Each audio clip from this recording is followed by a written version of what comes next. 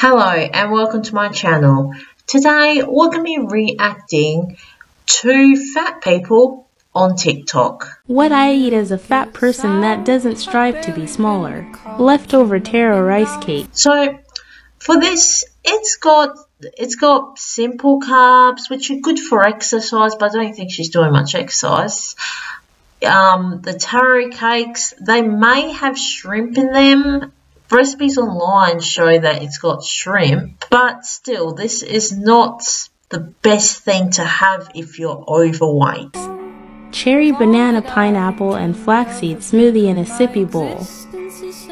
It's good to see that she's eating fruit, but it still looks like such a small serving. Like, that'd be enough for a normal person, but for an overweight or obese person, you need like double that amount.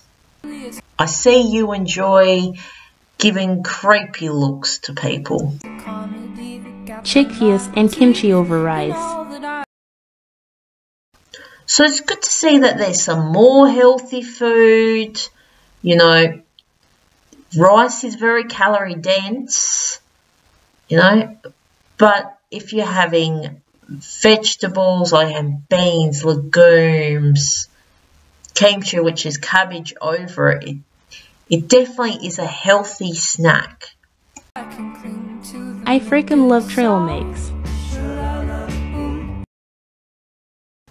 I know she's not trying to lose weight, but that small portion right there, that would be like 600 calories. Trail mix is really calorie dense and unless you're actually going up hills, you shouldn't be having trail mix in my opinion. Tofu veggie noodle soup is all I want lately. Love you, bye. So for this what I eat in a day as a fat person, it wasn't actually that bad. You know, you had a lot of healthy food in there, chickpeas, kimchi. You had some really good stuff in there. You know, the rice wasn't a big issue, but she honestly didn't need to have the nuts in my opinion. What I eat in a day as a fat person who does not want to eat healthy and does not work out to lose weight. It's good to see that you're going ahead and getting some cardio in. For breakfast, I had a sparkling apple Celsius with two vegan donuts. One was a berry and cream flavor, and the other one was birthday cake. I actually used to hate donuts before discovering this place. Who knew vegan ones could be so good? For the vegan ones, I noticed that they're usually a lot more high in sugar and fat. I didn't really like this one. It had chocolate on it, and I'm not a huge fan of that, and of course, I didn't think about that before I bought it. When I got to work, I had watermelon with a sparkling water, and then I also ate some pineapple with it.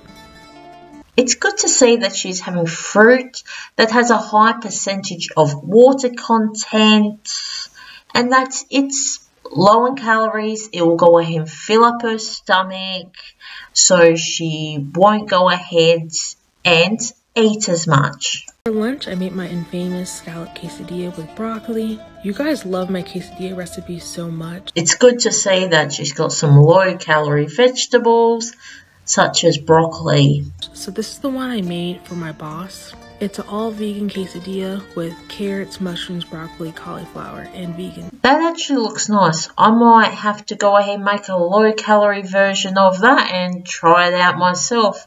Of course, it would not have vegan cheese, it'd have real cheese. Cheese. For dinner, I had pineapple with a red pea soup and rice and a sparkling water. What she's eating isn't actually that bad. You know, like she could have more protein that would make it more filling for her. But other than that, this is actually quite good. Then I had this strawberries and cream Mexican popsicle. It ended the night with a bowl of cereal before bed.